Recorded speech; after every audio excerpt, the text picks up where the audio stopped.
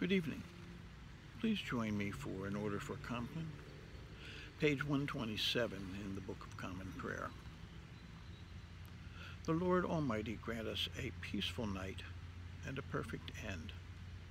Amen. Our help is in the name of the Lord, the Maker of heaven and earth. Let us confess our sins to God. Almighty God, our Heavenly Father, we have sinned against you through our own fault, in thought and word and deed, and in what we have left undone. For the sake of your Son, our Lord Jesus Christ, forgive us all our offenses, and grant that we may ever serve you in newness of life, to the glory of your name. Amen. May the Almighty God grant us forgiveness all our sins and the grace and comfort of the Holy Spirit.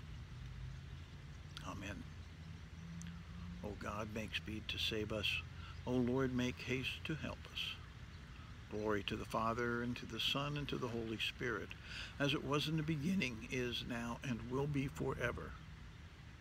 Amen. Let us read together Psalm 31 on page 129. In you, O Lord, have I taken refuge. Let me never be put to shame. Deliver me in your righteousness. Incline your ear to me. Make haste to deliver me. Be my strong rock, a castle to keep me safe. For you are my crag and my stronghold. For the sake of your name, lead me and guide me. Take me out of the net that they have secretly set for me for you are my tower of strength. Into your hands I commend my spirit, for you have redeemed me, O Lord, O God of truth. Glory to the Father, and to the Son, and to the Holy Spirit, as it was in the beginning, is now, and will be forever. Amen.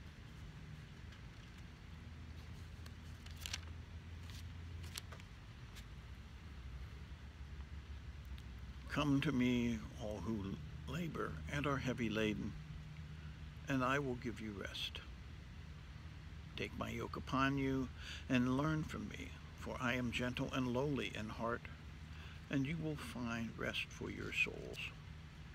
For my yoke is easy and my burden is light. Thanks be to God.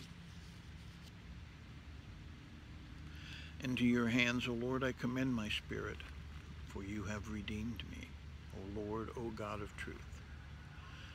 Keep us, O Lord, as the apple of your eye. Hide us under the shadow of your wings. Lord, have mercy. Christ, have mercy. Lord, have mercy. Our Father, who art in heaven, hallowed be your name. Thy kingdom come, thy will be done, on earth as it is in heaven. Give us this day our daily bread, and forgive us our trespasses, as we forgive those who trespass against us. And lead us not into temptation, but deliver us from evil. Lord, hear our prayer, and let our cry come to you. Let us pray. Look down, O Lord, from your heavenly throne, and illumine this night with your celestial brightness, that by night as by day your people may glorify your holy name through Jesus Christ our Lord. Amen.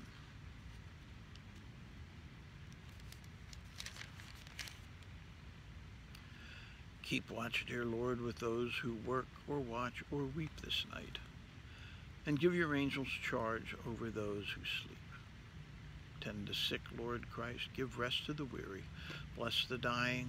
Soothe the suffering. Pity the afflicted. Shield the joyous, and all for your love's sake. Amen.